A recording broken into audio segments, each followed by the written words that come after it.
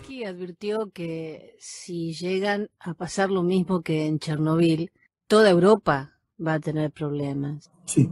En lo particular, yo estoy convencido que en el ataque que está haciendo Rusia, Rusia tiene muy claro dónde están las plantas nucleares, dónde está pasando cada una de estas cosas y su avanzar. No creo errores en la jugada en lo que tiene que ver con respecto a las plantas nucleares y las acciones de guerra. Me preocupan más bien los ataques terroristas. ¿Y por qué el ataque a Zaporilla? Mira, en las guerras, y eso también lo colocaba, tú sabes que yo disfruto mucho Twitter para poder interactuar de alguna manera especial y fijar ideas y pensamientos en la gente. Cuando se empezó a hablar sobre los acuerdos de cese al fuego, yo explicaba inmediatamente que el acuerdo de cese al, al fuego se vería violado por opción A, una acción de falsa bandera por parte de Rusia. Opción B, una acción de falsa bandera por parte de Ucrania. Entiéndase, es algo que no se va a poder saber. Sí. ¿Hubo un ataque o simplemente se propició un incendio para poner sobre aviso la realidad del riesgo que corren las plantas nucleares? ¿Quién hizo ese incendio? ¿Quién hizo este efecto de falsa bandera, tal como lo calificó Putin después del hecho, tal como lo califican los medios ucranianos después del hecho? No se sabe. Eso es parte de los trágicos teatros que forman parte de la vida. Sí, hoy estaba viendo que periodistas latinos, hay eh, Elizabeth Piqué, una, periodista argentina que está cubriendo desde el día uno, ha tenido que abandonar Ucrania porque ya las mismas autoridades les piden que se vayan porque no saben si se van a poder ir después. Es una realidad. El avance, eh, eh, yo creo que como sociedades no está, habíamos perdido noción de lo que significa una guerra, sobre todo las sociedades este, latinoamericanas. No tienen real noción de lo que significa una guerra o de lo que significa el poderío ruso. La nobleza del pueblo ucraniano por pelear por su tierra lo que hace es simplemente que el poderío ruso sienta más necesidad de aplastar. Es terrible, pero es que así es como funciona. Y son puntos que nosotros tenemos que comprender cuando se entiende la dimensión del enemigo, el objetivo del enemigo y cómo entiende ese enemigo a su enemigo. Ese enemigo está consciente de que aquel enemigo está increíblemente debilitado. Rusia está absolutamente consciente que dentro de su arsenal nada más tiene que mostrar los dientes de amenazas de la guerra nuclear. No tiene que pensar, ah, sí, Putin va a volar el mundo, ni que estuviera loco. No, no, porque esto no es un asunto de Putin. Esto es un asunto de que yo las tengo, yo tengo este poderío nuclear y yo que tú entiendas que Ucrania me pertenece. Nada más tiene que mostrar los dientes. Eso es lo que está haciendo. Él está pidiendo que eh, Zelensky renuncie. Y hay mucho periodista occidental prorruso que hablan de él como el payaso, como el actor cómico.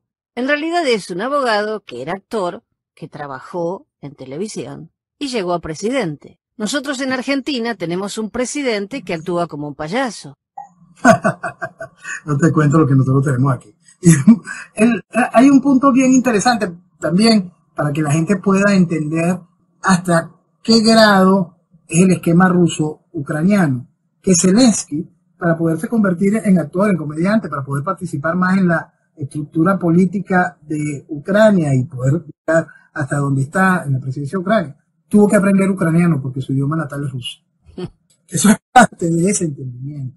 Y es así como lo ve Rusia.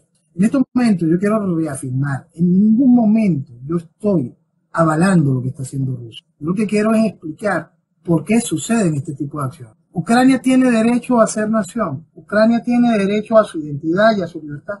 Por supuesto que sí. Pero hay que estar conscientes que lo que tiene de vecino siempre va a sentir que esa tierra le pertenece. Les vuelvo a decir que en YouTube, en Venezuela Vetada, está este maravilloso informe que hizo Noel Leal, Ucrania, el porqué, los hechos y eventualidades próximas. Recomiendo que lo vean porque muchas cosas que ni siquiera conocíamos son aclaradas de una manera brillante. No es tan fácil entender y desde tan lejos y a gente que nunca pensó que iba a haber una guerra así, cuando eh, el canciller argentino dice conflicto, no es conflicto, es una guerra.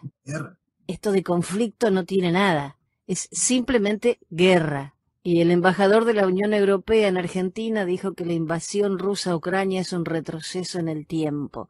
Pero ¿qué hacen los gobiernos? Están muy fríos, muy, muy, muy blandengues. Es que no puedes hacer otra cosa si eres consciente de la realidad global. Un dato interesante es la posición que tomó Bolsonaro, muy poco entendida por todos. El hombre entendió que Occidente está débil y entiende aquello como un fenómeno europeo, un fenómeno de Europa, en el cual si Occidente interviene, entramos en guerra mundial. Ay, Noel, qué año, qué, qué año, qué mm, siglo, qué, no sé, lo que nos ha tocado vivir es bastante difícil. Y eso que estamos lejos. lo que pasa es que eh, en este caso, fíjate qué fácil pasamos de un conflicto de supuestamente una frontera a un tris, a una guerra mundial.